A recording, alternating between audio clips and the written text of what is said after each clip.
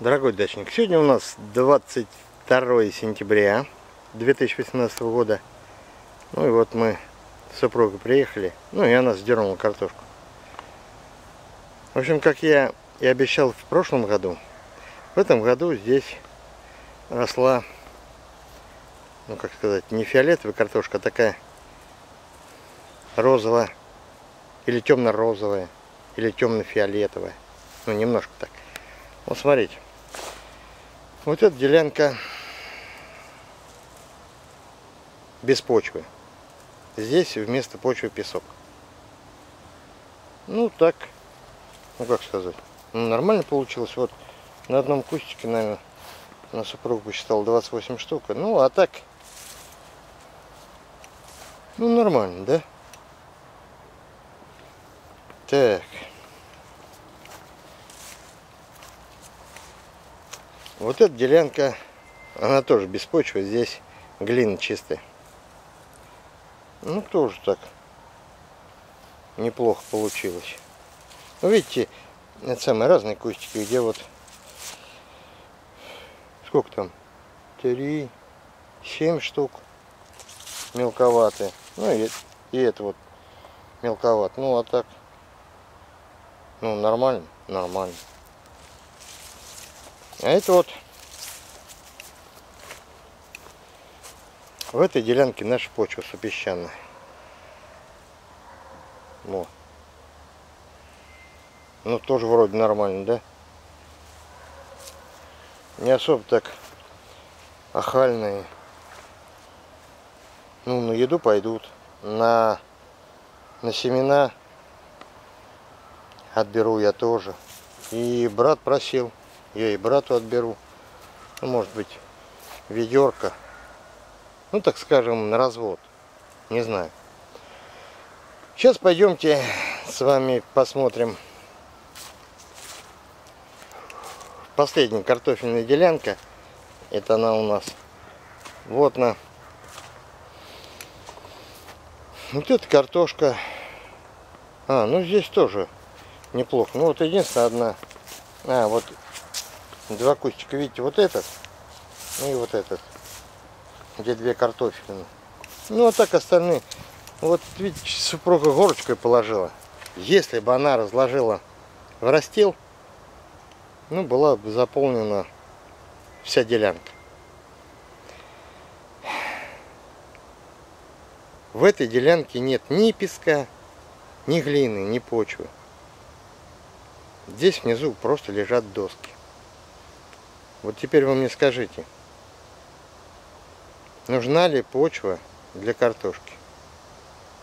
Если она и на досках в мульче растет великолепно.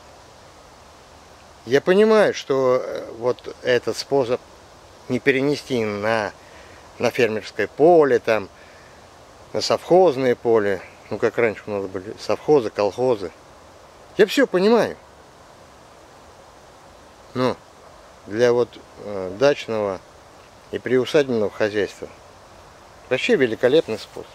Вообще. И э, состав почвы грунта абсолютно не имеет никакого значения. Сама картошка растет в мульче, не в почве, а в мульче. Но у нас в этом году немножко засушливый сезон был. Но я так изредка поливал. Вот эта делянка находится на две трети дачного участка, где я и поливал, и опрыскивал грибным настоем. Ну, результат вот видите, да? Вот. А вот эти три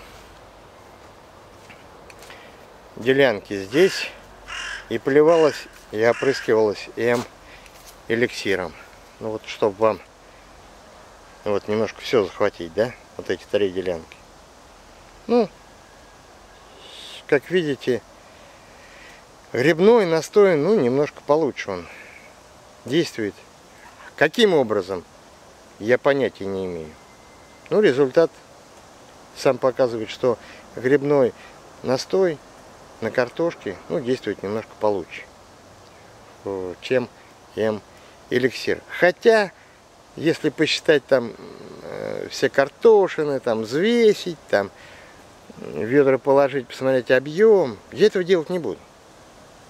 Я вот так на глаз, ну, для себя определил. Хотя это не окончательный вердикт, потому что по одному году сказать, что грибной настой вообще идеальный для картошки, а М-эликсир уступает немножко. Я так не могу. Они оба настоя хорошие. Ну и использовать можно и тот, и тот. В общем так. А лучше вообще, знаете как, лучше попробовать э, сначала опрыскать М-эликсиром или грибным настоем, а потом наоборот. Ну, то есть, если вы сначала М-эликсиром и полили, и опрыскали, а потом можно грибным настоем, а потом опять М-эликсиром, а, а потом грибным настоем. Вот, ну, и я имею в виду, если несколько раз и поливать, и опрыскивать. И в течение двух, трех, четырех лет э, сопоставить все результаты, а потом уже на основании этих результатов за 3-4 года можно сделать выводы. А так вот на сегодня, пожалуйста, смотрите. Все. На связи был Сергей Дяков.